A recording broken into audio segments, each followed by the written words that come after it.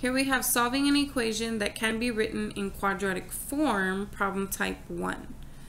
So essentially what you're looking for is, is the power on this expression doubled in the first expression. So here my power is 2, and if I double that, I get 4. So this is a quadratic type. The same thing is happening over in the other example if you take this exponent of this whole expression, it's 1, and if you double that, you get this exponent, which is 2. So you're taking the power of the whole expression. So, how do we solve things that are of the quadratic form? You take the middle term, and actually this should be equal to 0 before you even begin. So I'm going to move the 36 over and it'll become positive 36. Now I have a clear middle term. This middle term will be changed, okay? So what you'll do is you'll say let some other letter, we'll use u, let u equal y squared. Whatever that middle term is, that middle expression, not the coefficient, just the expression with the variables in it. Okay? So, what that means then is that this guy is u squared. Because if I square this side and I square this side, I get y to the fourth.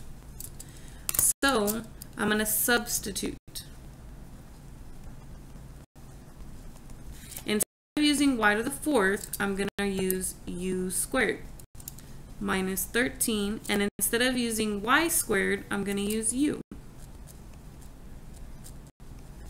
And then because there's no number in front, I actually can factor this, and I will factor it if it's at all possible because it is faster. So here I can use u minus 9 and u minus 4. If I multiply those, I get positive 36. If I combine them, I get negative 13. So I get u minus 9 equal to 0, u minus 4 equal to 0. If I add 9, I get u equal to 9 and u equal to 4. And then what you do is you back sub. Because the problem didn't ask you to solve for u. The problem asked you to solve for y. So you back sub. What was u?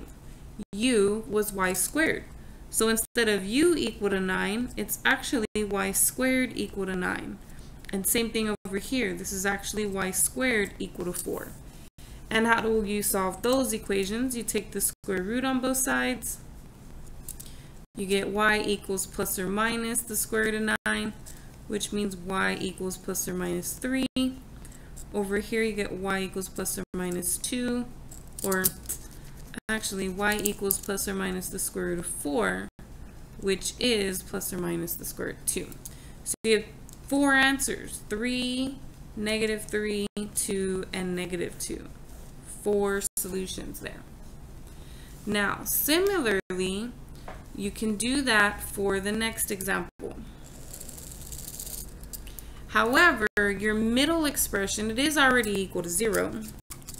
This is the coefficient of the middle term, which means this thing is your middle expression, okay? So you're going to say let u equal that entire middle expression. And you can put the 1 or not, it's up to you. And if I square this side, I get u squared. If I square this side, I get this expression. And so then you substitute. I'm going to take this whole thing and instead of writing that whole thing, I'm going to write u squared minus 16. And instead of writing this whole expression, I'm going to write just u plus 64 equal to 0. There's no number in front, so I am going to factor this. I get u minus 8 and u minus 8, which means u minus 8 squared if you take the square root of both sides, you get u minus 8 equals, there's no such thing as plus or minus 0. 0 is neutral, so it's just one answer, 0. And then if you add 8 to both sides, you get u equal to 8. But the problem didn't ask you to solve for u. So you do have to back sub. What did u represent? u represented y squared minus 17. So really the problem we're trying to solve is y squared minus 17 equal to 8. And so then here I'm going to add 17 to both sides. That's going to give me 25. And then I can take the square root of both sides. I get y equals plus or minus the square root of 25. Or y equals plus or minus 5. So we get two solutions, 5 and negative 5. And so both of those problems were solved using um, the quadratic form. So in order to solve those, you have to do um, substitution. And but you just can't forget to back sub after you've solved for the substituted variable, back sub, and then solve some more.